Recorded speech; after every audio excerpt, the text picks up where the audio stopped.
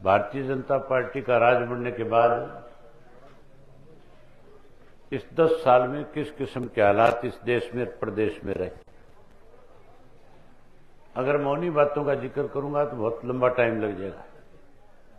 आगे और भी दस ग्यारह गाँव के कार्यक्रम है। काम का समय फुर्सत है ही नहीं लोगों के पास। मोदी जी ने एक नया नारा दिया है। और ये कहकर के वोट मांग रहे हैं, भाजपा के लोग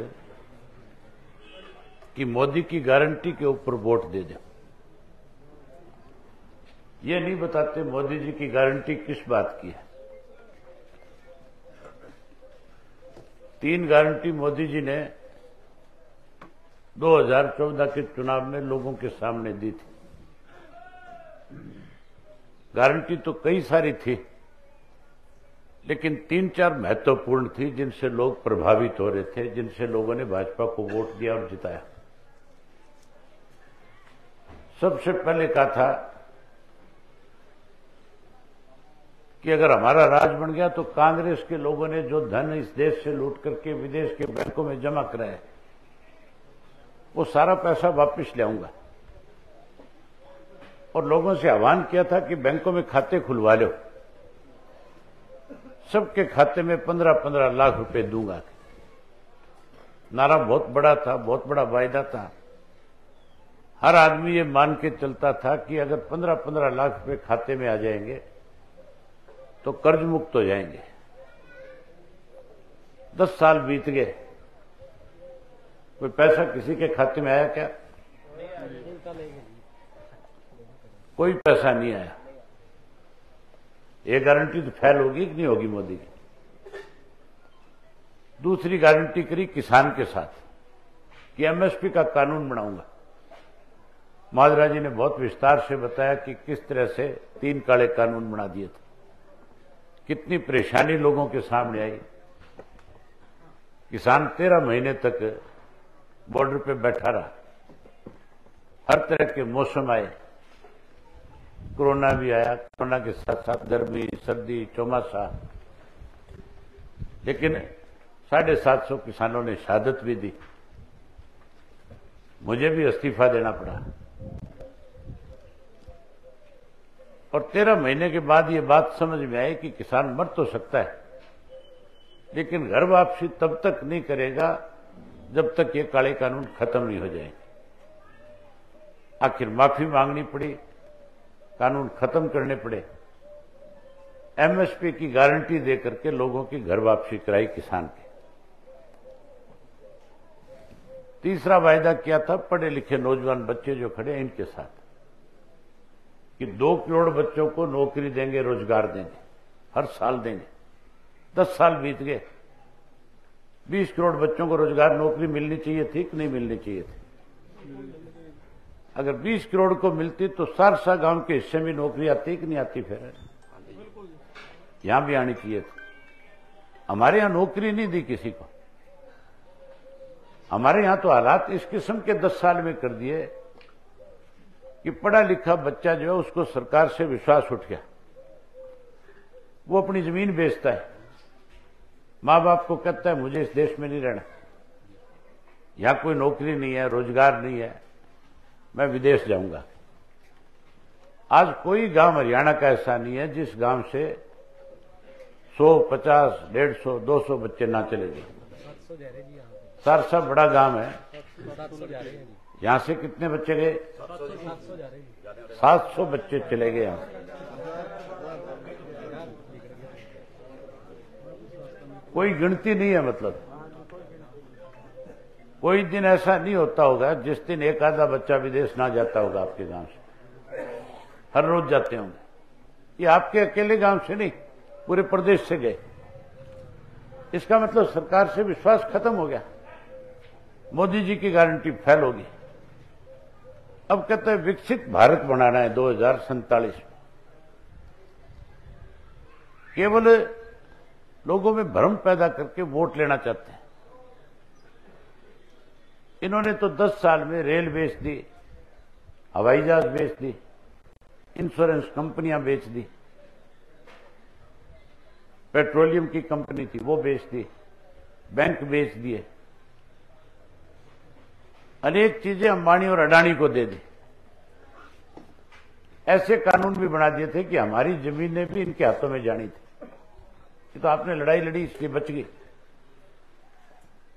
अब अगर गलती से कहीं इनका राज फिर बन गया तो फिर ये मान के चलो देश का संविधान बदल देंगे। और ऐसा संविधान बना लेंगे कि फिर इस देश में इलेक्शन नहीं होगा। फिर भाजपा अपनी मनमर्जी से इस देश के अंदर राज करेगी। ये आपको सोचना है कि क्या ऐसे लोगों को फिर से सत्ता में लेना या सत्ता से बाहर करना गारंटी दी थी चौधरी देवीलाल ने आपको। सन उन्नीस सौ सतासी के चुनाव से पहले उन्होंने कहा था, सौ रुपए पेंशन करूँगा। कहा था, दस हज़ार के कर्जे माफ़ करूँगा। इक्यावन सौ रुपए गरीब की बेटी के कन्यादान के दूँगा। पेंशन बढ़ा दी कि नहीं बढ़ा दी? ऐसी पेंशन बढ़ाई थी जो बढ़ करके तीन हज़ार होगी, आगे और बढ़ेगी। इस पेंशन को अगर कोई काटेगा, खत्म करेगा तो समझो उसका राजनीतिक जीवन खत्म हो जाएगा। गारंटी करी थी दस हज़ार के कर्जे माफ़ करने की। कर्जे माफ़ हुए कि नहीं हुए उस वक्त? इक्यावन सौ कन्यादान के दिए थे, आज बढ़ करके एक लाख रुपया हो गया। गारंटी तो ये होती है। ये तो केवल इस किस्म की बात कह करके हमारा वोट हासिल करना चाहते हैं।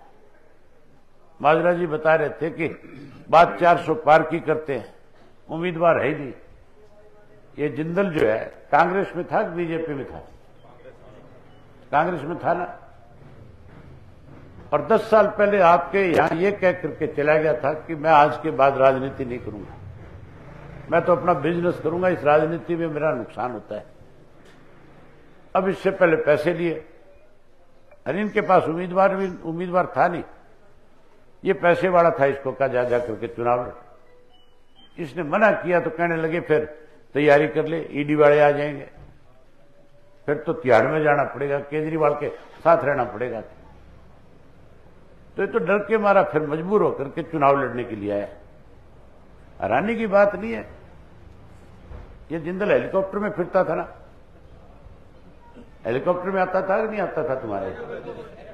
हवाई जहाज़ हेलीकॉप्टर वाला है। परसों चौथे एक वीडियो देखा मैंने। इन बीजेपी वालों ने इसके कंधे के ऊपर भी बोरी रखा दी, बोला पल्लेदार बन जाए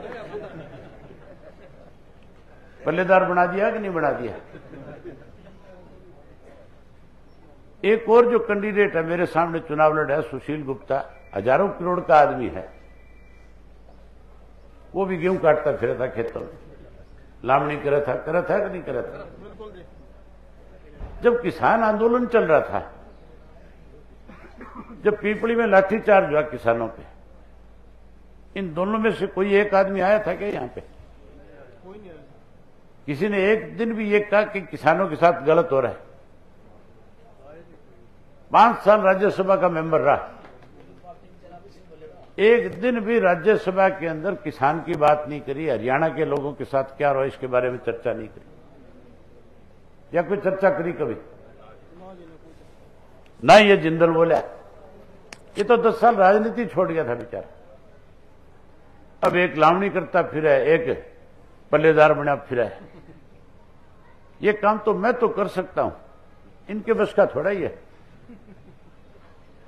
मैंने उन दोनों से कहा है कि अगर तुम सही में किसान के घर में पैदा हुए हो, और अगर किसान के हितेशी हो तो एक दिन, सारा दिन मेरे साथ गेहूँ काट के बिता दो सारा रंग, रूप, भाषा, सब कुछ बदल जाएगा, तुम छोड़ के अपने आप भाज जाओगे यहाँ।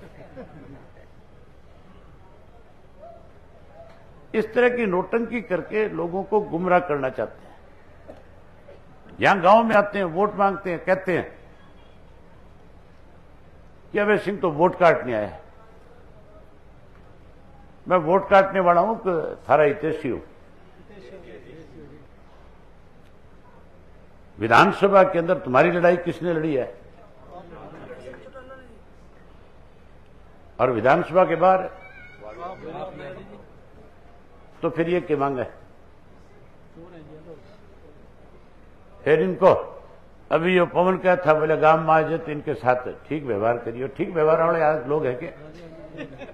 है? तो ये बात कहाँ से सीखा है? जिन्होंने थारे साथ इतनी बुरी कर रखी है, जिन्होंने तेरह तेरह महीने तुम्हें घर, बार, परिवार, खेत सब छुड़वा दिया, आंदोलन करने के लिए मजबूर कर दिया, वो यहाँ के वोट मांगे। तो इसका मतलब हमारे से कमज़ोर लोग नहीं है फिर। उनको उसी भाषा में जवाब देना चाहिए, जिस भाषा में उन्होंने हमारे साथ बर्ताव किया।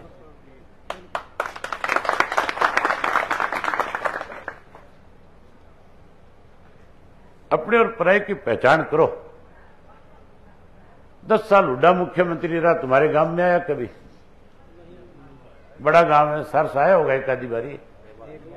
कुछ दे गया कि ले गया थारे गाँव से?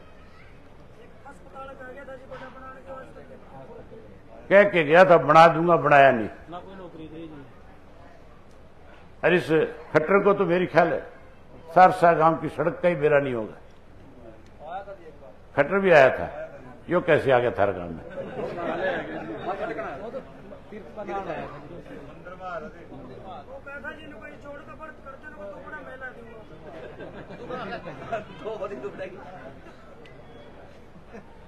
और चौधरी देवीलाल कितने बारी आए? और चौटाला साहब?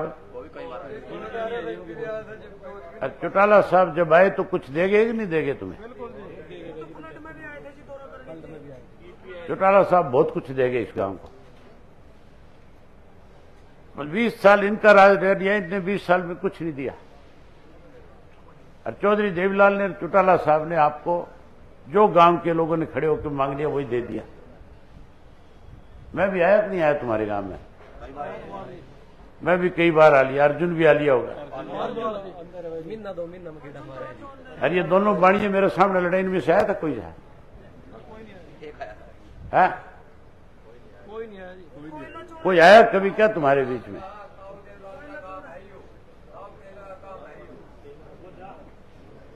तो फिर ये समझने की ज़रूरत है भी तुम्हारा कौन है? ये जिनसे कहना मैं वोट काटना है, मैं वोट काटने नहीं है मैं इनकी रांद काटने खातर हूँ। तुम मेरा साथ दोगे कि नहीं दोगे? बस तो साथ दोगे तो मैं इनकी रांद काट दूँगा, और तुम्हारी आवाज़ जो है, लोकसभा में और बहुत मजबूती के साथ उठाऊँगा। एक तारीख को फार्म भरूँगा। कुरुक्षेत्र में 11 बजे आपने आना है।